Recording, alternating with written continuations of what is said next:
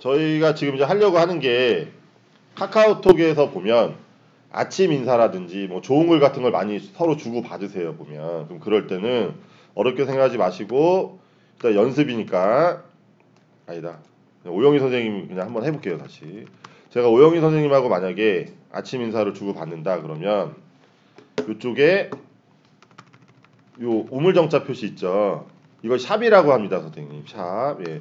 이거를 터치하시고 이쪽에다가 커피라고 검색을 해볼게요 선생님.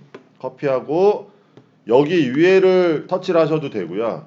여기를 터치를 하셔도 돼요. 여기를 터치하셔도 되고요. 터치를 하시면 지금 백과사전이 나왔는데 여기 이미지 있죠 선생님? 이미지를 가시면 이렇게 많이 나와요. 이쁜 이런 커피 그죠? 이미지들이. 그러면 어, 나는 이게 마음에 든다 그죠? 이걸 딱 터치하시고 요거를 보내면 바로 이렇게 가죠 이미지가. 그죠?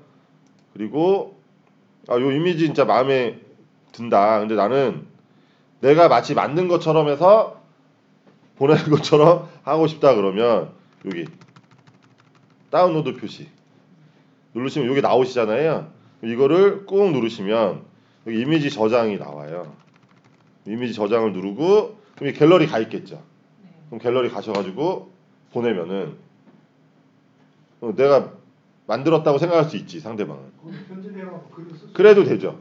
개인한테 보내는 건 상관없다고. 네. 어차피 뭐 카드뉴스 오늘 오후에도 하고 뭐 그거는 이제 제대로 하실 수 있게끔 해드릴 거니까. 자 그리고 좋은 글 같은 것도 많이 보내시거든요. 딱 누르신 다음에 뭐 아침 뭐 이렇게 쳐도 나올까요? 좋은 시 식사. 그러면 이미지 가보면 음. 뭐 나오긴 나오네요. 그죠? 뭐 시는 아닌데 어쨌든 뭐 이런 것들 쭉 나오잖아요. 그죠? 그럼 이런 것도 예, 여기 말풍선 누르시고 또 다운로드 받으시면 갖고 하면 이제 갤러리에 또 저장이 되고. 그래서 아침에 요렇게 보내시면은 왜요? 왜?